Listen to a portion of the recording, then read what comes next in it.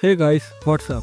If you are looking for powerful open source video editing software that works seamlessly on PC, Mac, Linux, and of course is completely free with no subscription fees, watermarks, or limitations, then this video is for you.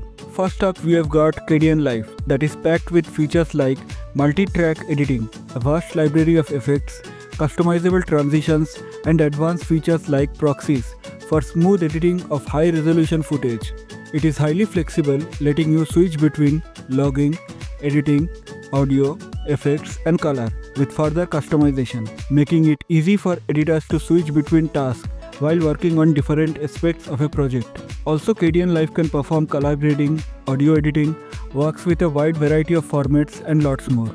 Next, we have got Shotcut that is easy to use, but don't let that fool you. With support for drag and drop interface, advanced video effects and filters, audio effects, color grading, and support for wide range of formats, Shotcut gets the job done without the learning curve.